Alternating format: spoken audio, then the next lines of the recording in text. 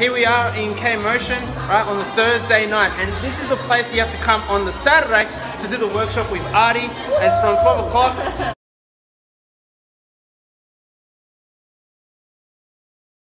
At K Motion Dance Studios. Um, check it out, look how cool it looks here.